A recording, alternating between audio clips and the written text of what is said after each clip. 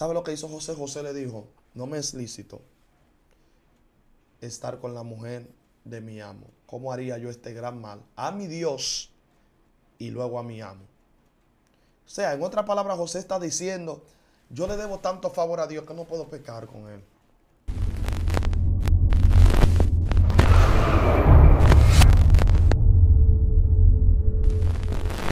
Dios te bendiga, la paz del Señor Jesucristo sea contigo de una manera poderosa, abundante y especial. Este es tu segmento, Conociendo el Mundo Espiritual en tu plataforma preferida, Excelencia Cristiana Televisión.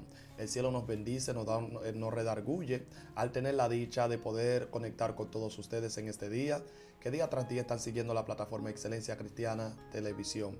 Y hoy traigo una palabra que Dios me ha ministrado, que sé que te va a bendecir de una manera poderosa, abundante y especial. Y esta palabra es tocante al dominio propio. Yo quiero que vayan conmigo a su Biblia gloria al Señor, a, dos citas bíblicas. Quiero leer dos citas bíblicas, segunda de Timoteo 1.7 y segunda de Pedro 1.6. Segunda de Timoteo 1.7 y segunda Pedro 1.6. Dicen así, bueno, vamos a leer primero en, en Timoteo. Porque no nos ha dado Dios espíritu de cobardía, sino de poder, de amor y de dominio propio. Oiga lo que dice ahora 2 Pedro 1.6. El conocimiento, dominio propio. Al dominio propio, paciencia. Y a la paciencia, piedad. Y a la paciencia, piedad. Quiero ministrar en el día de hoy el misterio del dominio propio. Quiero predicar con este tema. Y anclado sobre esto, yo quiero revelar luz acerca de muchas cosas que nosotros hoy en día enfrentamos. Hoy en día hacemos guerra. Hoy en día... Eh, nos atacan y tratan de drenarnos, tratan de quitarnos eh, o de separarnos del propósito primordial de nuestra vida, que es servirle al Señor con amor, con dominio propio, con entrega y compasión. A menudo nosotros hemos visto esta palabra dominio propio, pero ¿qué es el dominio propio? ¿Qué significa dominio propio? El dominio propio tiene que ver, gloria al Señor, con la postura firme y el carácter que desarrollamos frente a una situación X o Y. Cuando hablamos de dominio propio tenemos que hablar de ese fundamento que te mantiene, que te sostiene y que no te lleva a pecar o que no te lleva a cometer errores a la ligera. Cuando yo veo la palabra dominio propio, tengo que hacer énfasis sobre muchos hombres de Dios en la Biblia, que anduvieron de aquí para allá y de allá para acá, que anduvieron en el propósito eterno y que anduvieron en la gracia soberana del Padre. Pero al andar en la gracia soberana del Padre, la Biblia dice, gloria al Señor, que en el momento el enemigo lo atacó. El enemigo le hizo la guerra. Hombres terribles como Noé, hombres tremendos como Abraham, Jacob, Isaac, qué decir de David, Sansón. Fueron hombres que vivieron de acuerdo a la voluntad de Dios, pero el enemigo le hizo la guerra de una forma directa o indirecta. ¿Qué decir de José?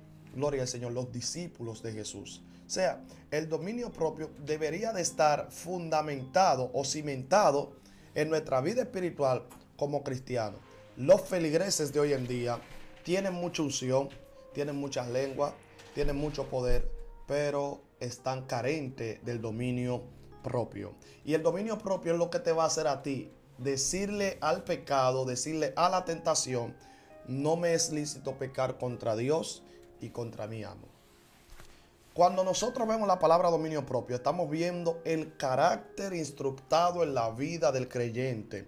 Repito esto, el carácter instructado en la vida del creyente. El dominio propio es lo que te da carácter. El dominio propio es lo que te da seguridad, certeza de quién eres. Y lo que me conviene, lo que me, lo que me es permitido hacer y lo que no me es permitido hacer. Dominio propio yo le llamo a mantenerse con una postura santa en medio de un mundo cruel, atroz y un mundo vulnerable. Dominio propio es ver a Noé, que cuando todo el mundo estaba desvinculado de lo que es la voluntad del Padre, dice la palabra que todos pecaron y que la maldad había llegado hasta la presencia de Jehová. Y él miró a la tierra y dijo, yo he determinado raer de sobre de la tierra toda carne que yo he creado. Y dice, ahí hay un pero en esa historia que dice, pero Noé halló gracia ante los ojos de Dios. ¿Sabe por qué Noé halló gracia ante los ojos de Dios? Porque era de apellido tal, no. porque era de la familia tal, tampoco. Noé halló gracia ante los ojos de Dios porque Noé se mantuvo haciendo lo diferente en el sistema que él estaba viviendo. Hacerlo diferente en un sistema cuando todo el mundo está en un sendero, en un camino, cuando todo el mundo está en un mismo estandarte, en un mismo baluarte, y que tú te levantes a hacer lo incorrecto, lo, contrario a lo que está haciendo el sistema, a eso se le llama dominio propio. Dominio propio no es tener apoyo humano. Dominio propio es saber que aunque lo humano te quiere hacer daño, usted se mantiene en una postura firme y decir no voy a pecar y no voy a fallar. No es, ahí estamos viendo el dominio propio. El dominio propio es lo que te da carácter en medio de la hostilidad. Es lo que te da carácter en medio del problema que estás viviendo. Y que tú dices, no tengo que hacer lo que otros hicieron. No tengo que vivir como viven otros. El dominio propio te da identidad. El dominio propio te da carácter.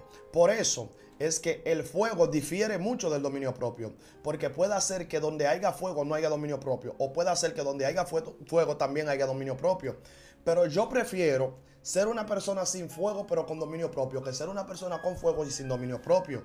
Porque el fuego no es lo que te hace mantenerte en la dimensión que Dios te puso. ¿Me escuchó? Te voy a repetir esto. El fuego, el avivamiento no es lo que te hace mantenerte en la dimensión que Dios te plantó y te estableció. Lo que te hace mantenerte o establecerte en la dimensión que Dios te puso es el dominio propio. Varón, explícame eso, claro. Porque muchas personas tienen mucho fuego, pero carecen de dominio propio. Usted no ha visto personas que botan fuego por la boca y que esto, y predicando, usted dice, wow, cuán ungido está ese hombre cuánto fuego, cuánto avivamiento. Por eso son los primeros que caen derretidos ante la tentación. El dominio propio es carente en ese tipo de personas. Entonces, yo prefiero ser una persona pasiva con dominio propio que ser una persona con fuego y sin dominio propio. Porque cuando la tentación viene, el fuego no es lo que lo reprende. Cuando la tentación viene, no es el fuego que resiste la tentación. Cuando la tentación viene, lo que resiste a la tentación es el dominio propio, el carácter. Que tú digas, no voy a fallarle a Dios, no voy a pecar contra Dios. Eso es lo que hace que el dominio propio, que, el fuego, que, que la tentación se detenga. ¿Qué decir de Adán? Un hombre que vio a Dios, un hombre que habló con Dios, un hombre que vivió con Dios. Adán hablaba con Dios como, como estoy hablando con esta audiencia, pero cara a cara. Adán hablaba con Dios como habla con cualquier compañero con Dios. Pero ¿sabe lo que quitó esa conexión de Adán con Dios? La carencia de dominio propio en un momento de tentación. El Señor me habló esta mañana y me habló tocante al dominio propio. Que la generación, mi generación, estoy preocupado por mi generación. Porque mi generación, mi generación está carente de ese dominio, de ese manejo, de ese carácter que necesitan llevar a cabo. Dominio propio es mantener una postura, no ser de doble moral, no ser de doble cara. Dominio propio es decir, yo soy blanco, si soy blanco es blanco, si soy negro es negro, si soy azul es azul. Eso se llama dominio propio. En la Biblia hemos encontrado la carencia de dominio propio, empezó por Adán. Por falta del dominio propio, Adán le dio acceso al enemigo a acabar con todo lo que nosotros hoy estamos estaríamos disfrutando de parte del Señor, pero por cuanto faltó un dominio propio en el huerto del Edén, el pecado se metió. Dominio propio es, eh, la ausencia de dominio propio es ceder, es ceder mi voluntad a quien me ataca, es ceder mi voluntad a quien se opone a mí. Le voy, a, le voy a repetir esto. La carencia de dominio propio es ceder mi voluntad a quien me está atacando y me está haciendo la guerra. Ahora yo quiero que usted reflexione sobre su vida. Reflexione sobre todo el trayecto que ha venido eh, transitando. Y póngase a pensar, ¿cuántas veces me faltó dominio propio? ¿Cuántas veces caí derretido al pecado? El Señor vino a, hablarte con, eh, vino a hablar contigo hoy. Que Él quiere que tú recobres fuerza y tome dominio propio. Reclama el dominio propio para que llegue a tu vida. ¿Qué decir de un hombre llamado José? Que la Biblia dice que siendo un muchacho de 17 años, dice la palabra que Dios habló a su vida. Cuando Dios habla a su vida a través de sueños, le hace promesa de llevarlo al palacio. La Biblia dice que se soñó que estaba atando manojo con sus hermanos y que el manojo de él estaba parado y, el manojo de los hermanos se inclinaba al de él.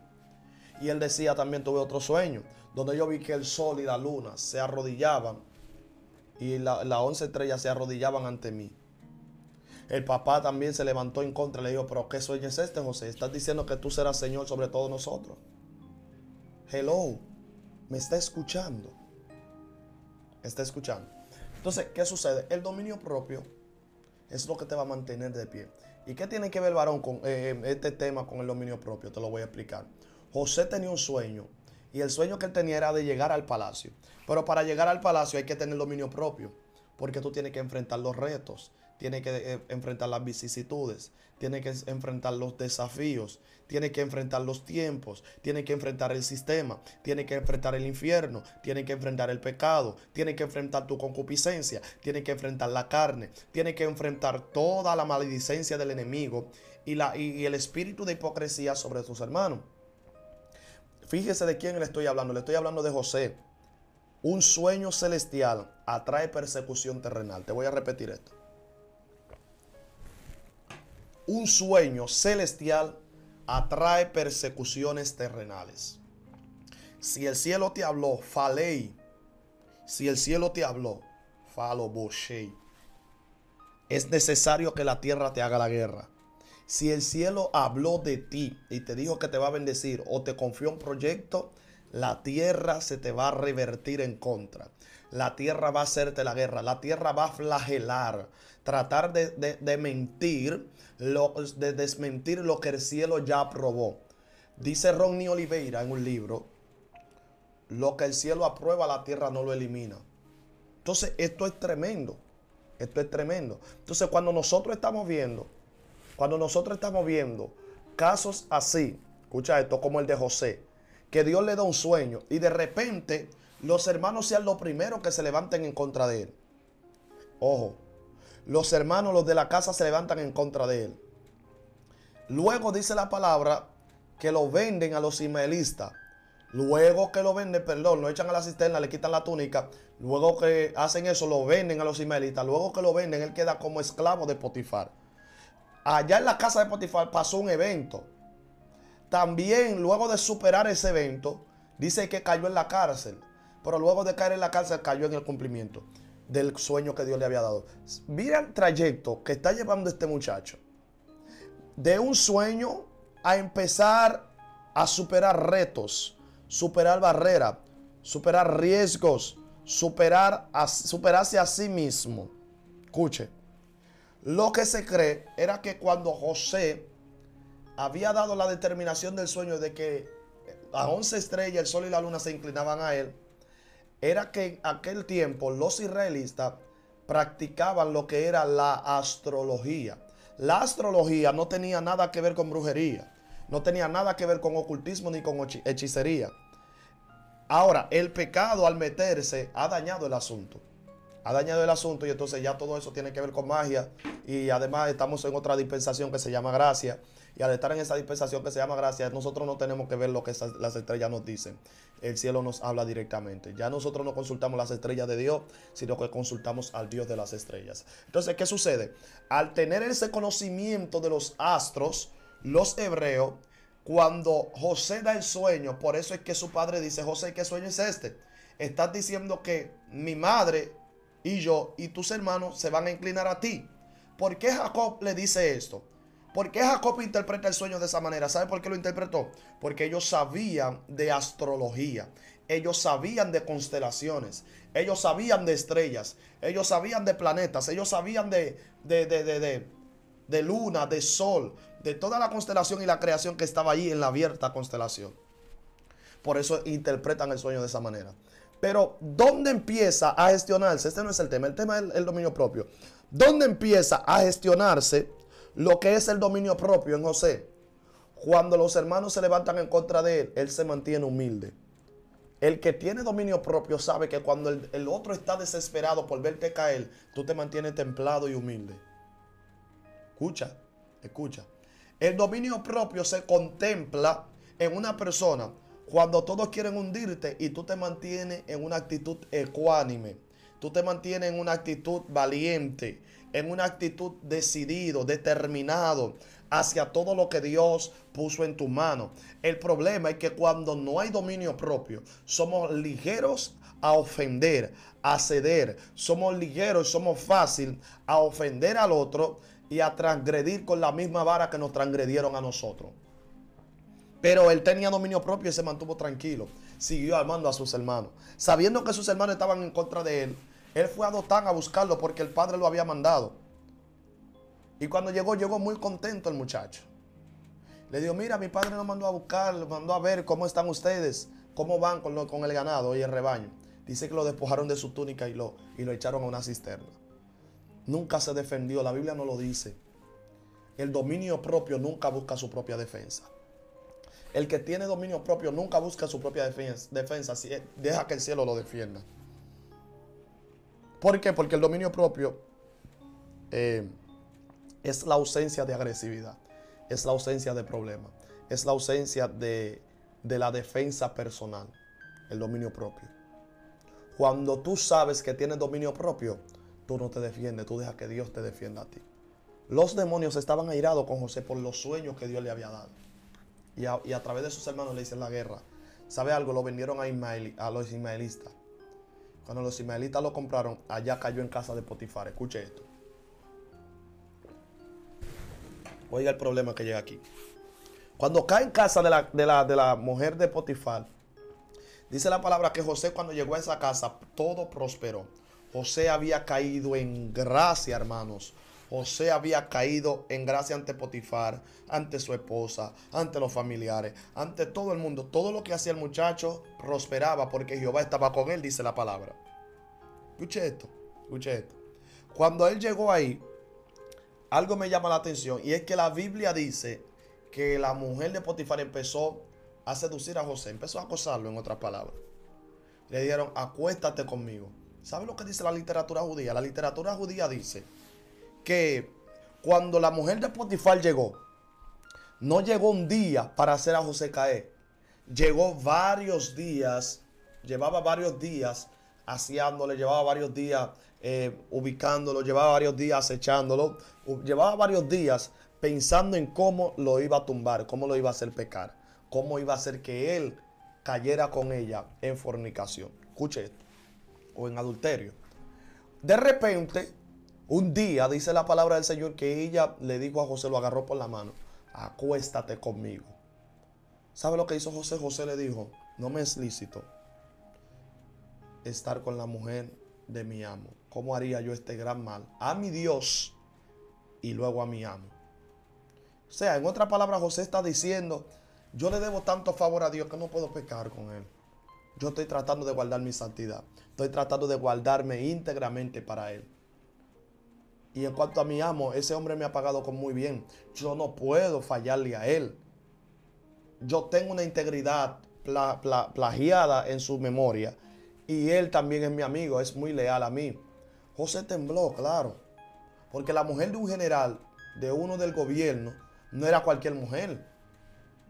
O sea que si José estaba siendo tentado por la mujer de Potifar, estaba siendo tentado, por, así decirlo, yo quiero, yo quiero que usted entienda el, término, por una sugar mami.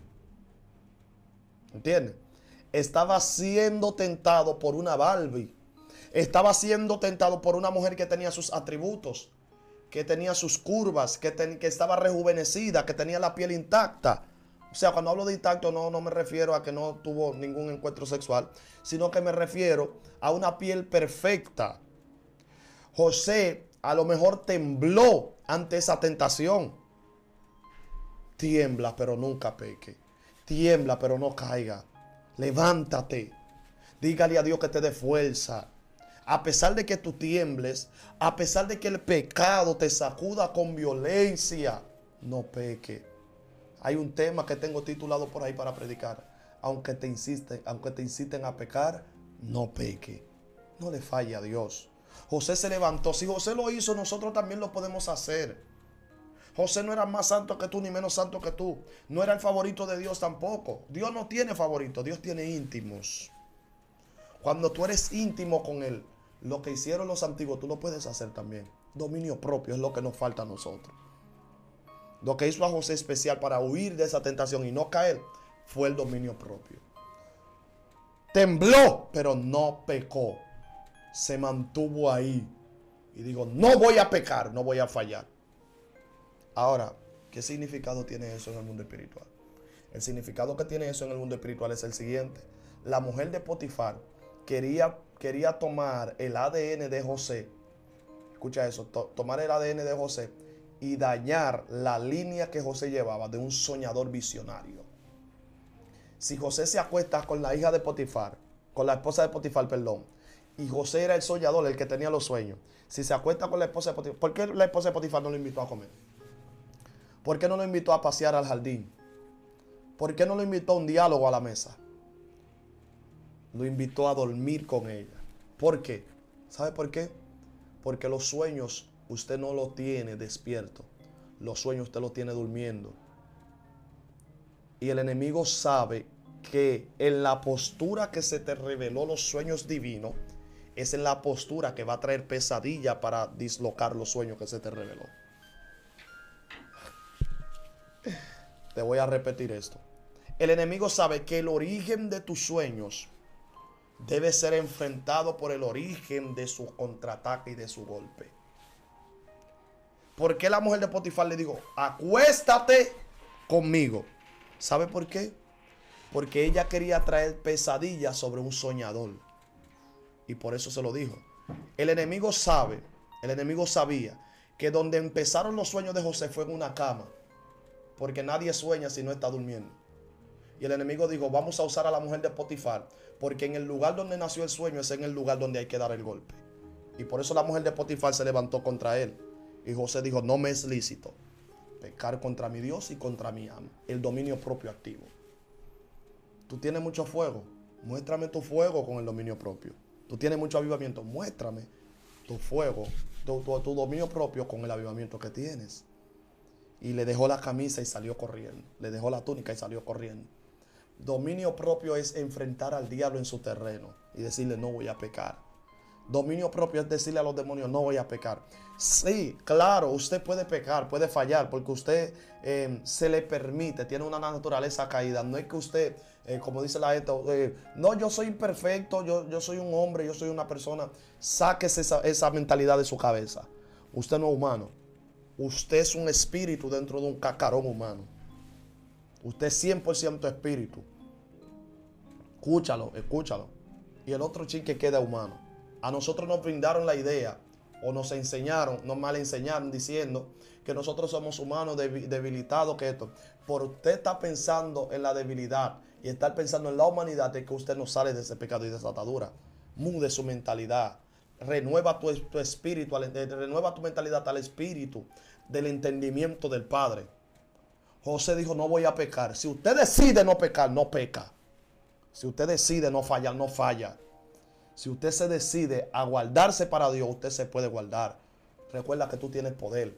Sácate ese lenguaje de la boca, de que soy débil, de que yo soy humano, de que yo, yo puedo cometer errores. Sácate eso de la cabeza. Ese fue el pensamiento humano esa fue la expresión humana. El cielo no habló así. El cielo te creó perfecto.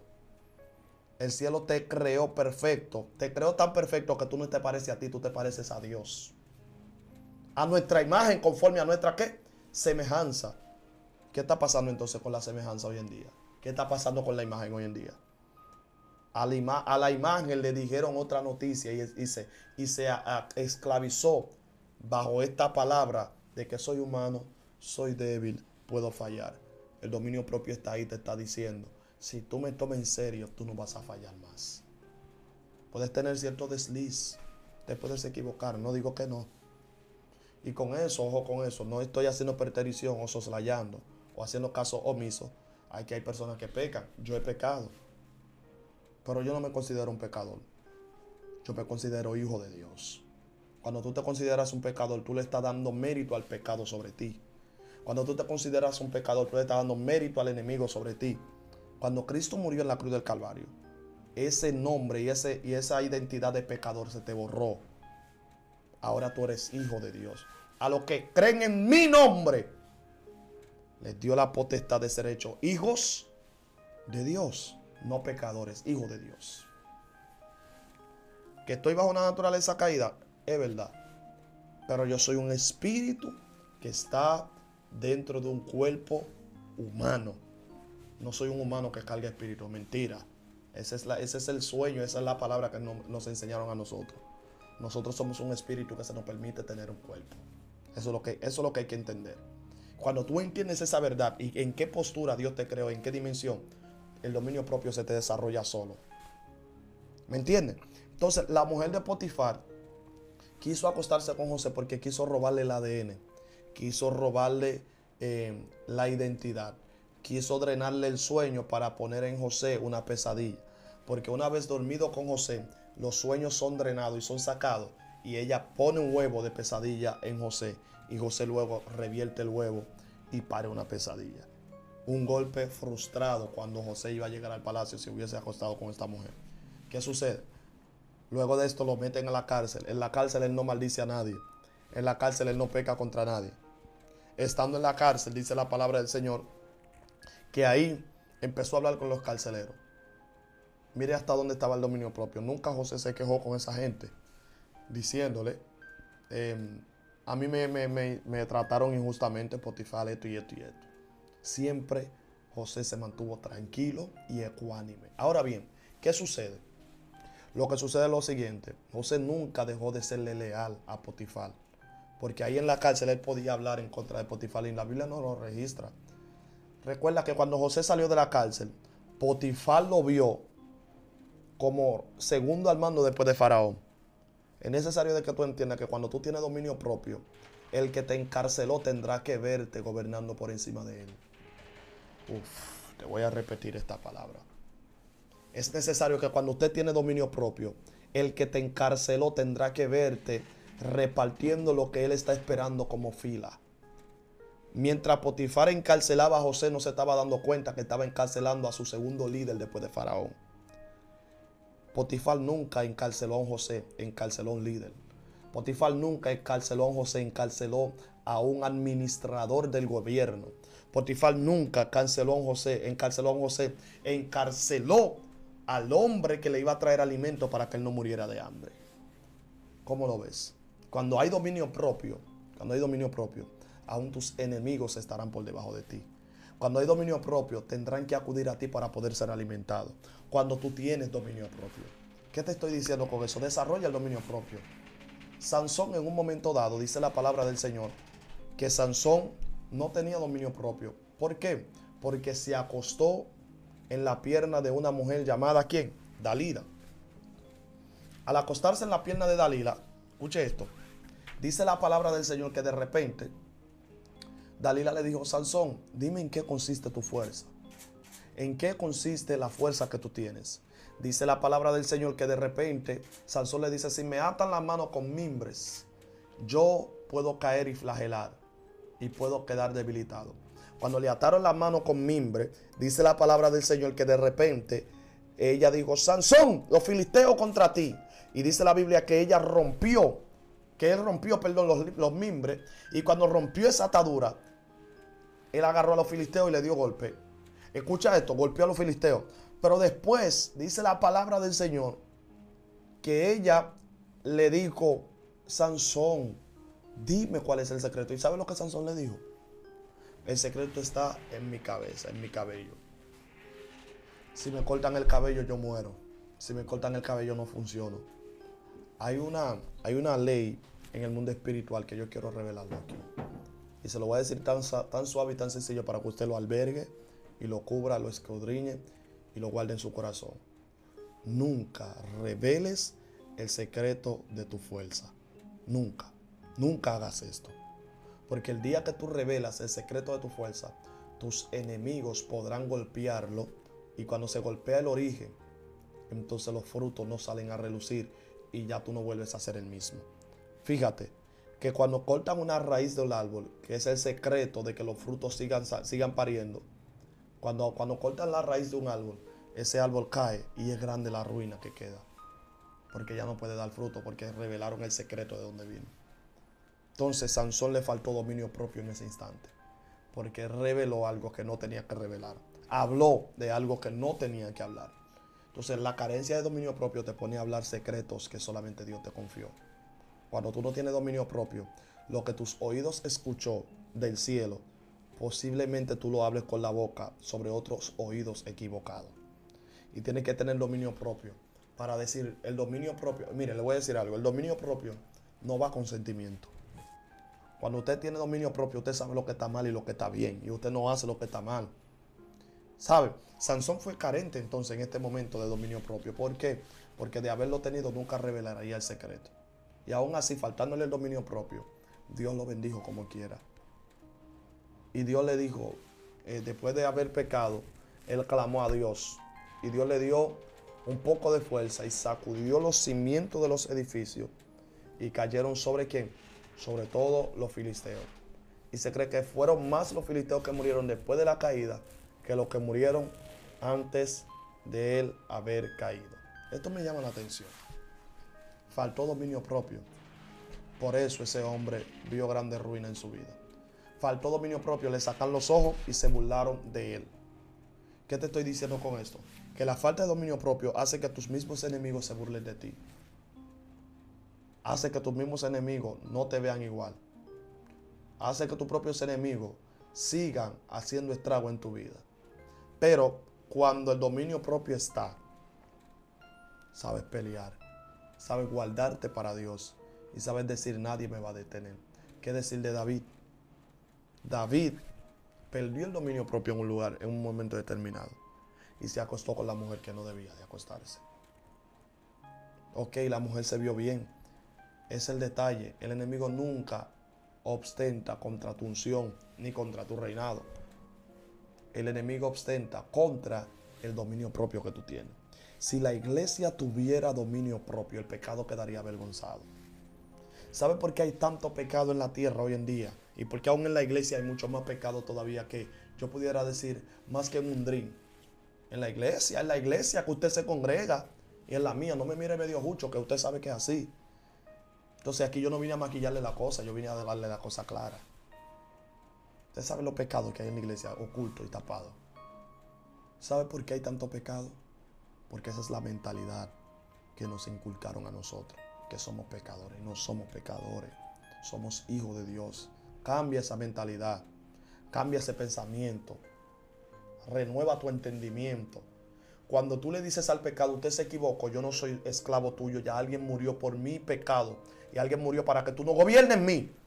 Usted le dice, yo soy hijo de Dios el pecado tendrá que avergonzarse y dejarte tranquilo. ¿Cuál fue el elogio que dio Jehová acerca de Job? Y la pregunta es la siguiente, ¿por qué Jehová elogió a Job y hoy a ti no te está elogiando?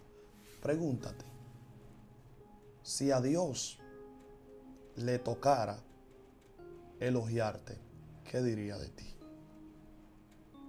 Si Él escudriña los pensamientos de tu corazón. Dime, ¿qué, diría de ti? Solamente piensa, si a Dios le tocara hablar de ti como habló de Job, ¿cuál fue, cuáles, ¿cuáles serían las palabras que Él dijera de tu persona?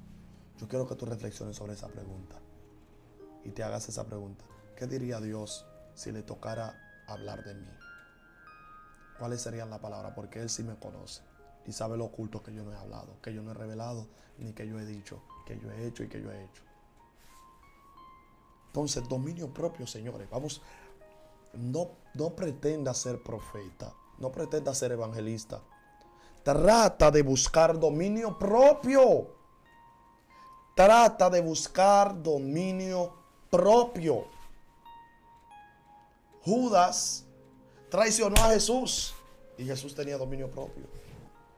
Y no actuó en transgresión. No pagó mal por mal.